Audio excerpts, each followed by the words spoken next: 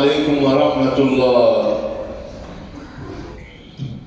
Her kişi niyetiyle. Allahu Ekber.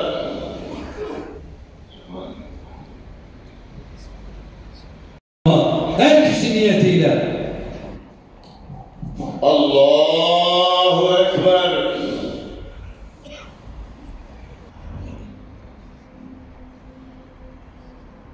Allah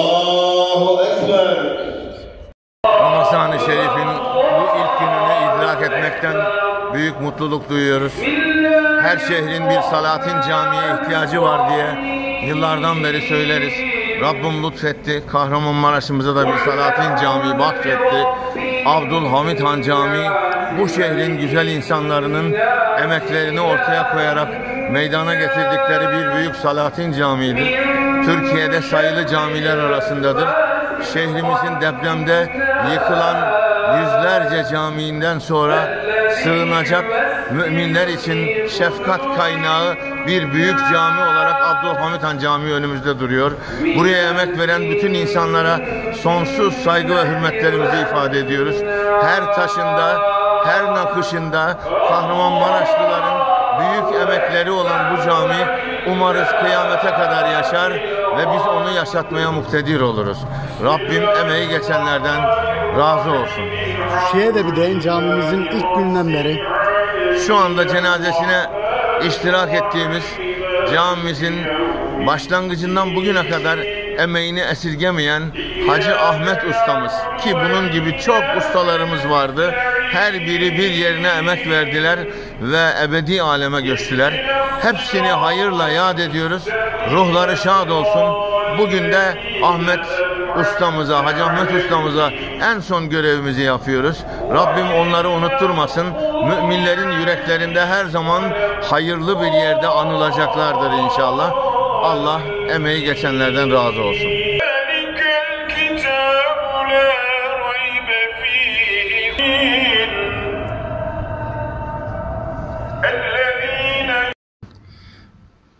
Öncelikle Allah'ın selamı bereket üzerinize olsun. Ahmet Yurttaş deyince aklıma benim Abdülhamit Han'ın temelindeki ilk çakıl taşından minarenin aleminin üstündeki ay yıldızının koyulmasına kadar olan bütün safhada tek yalnız başına yalnız savaşı deriz ya emeği bulunan bir kardeşimizdi. Allah gani gani rahmet etsin. Ramazan'ın sevincini yaşarken Ahmet abimizi kaybetmenin buruk bir üzüntüsünü yaşıyoruz. Allah'ım inşallahü teala bu camide yapmış olduğu bütün eserlerinin karşılığını cennet olaraktan, cennet köşkü olaraktan Ahmet abime iade etsin.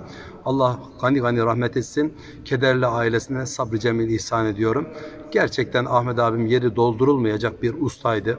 Şu camimizde ibadet maksadıyla çalışıp gecesi ve gündüzünü birbirine katarak hiçbir zaman maddi şeyi düşünmeden, bir imkan düşünmeden her zaman Allah rızasını gözeterekten camimize yardımcı olan bir abimizdi. Camiye neler yaptı derken bütün camimizin diyorum ya taş duvar ustalığından, minarelerden yarım kalan minarelerimizi biz burada usta arayışına girdiğimizde gerçekten bulmakta zorlanıyorduk. Ahmet abim bir tornacı ustası olması hasebiyle çok zeki bir insandı. Daha sonra geldi ben yaparım bu caminin bütün şeylerini. Minaresini de yaparım, kalıbını yaparım, şunu da yaparım. Ve gerçekten mimarlarımızın gözetiminde takdire şayan bir performans sergileyerek gerçekten 96 metrelik bu asrın depreminde sarsılmayan tek cami, tek mabet olaraktan görüyorsunuz ayaktadır camimiz. Öyle bir mimari eser bıraktı. Allah kendilerinden razı olsun. Selamun Aleyküm ve Rahmetullah. Her kişi niyetiyle Allah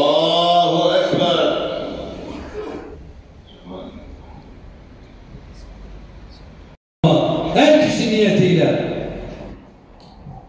Allahu Ekber.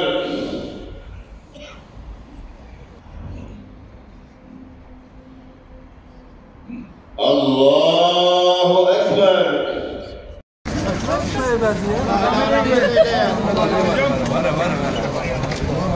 Peygamber Efendimiz sefer gidiyor. Maşallah.